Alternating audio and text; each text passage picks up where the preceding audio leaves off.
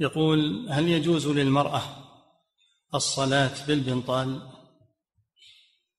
ما يجوز لا للمرأة ولا للرجل. اللي بين الأعضاء وتفاصيل الجسم ما يجوز لا للرجل ولا للمرأة لأن فيه فتنة.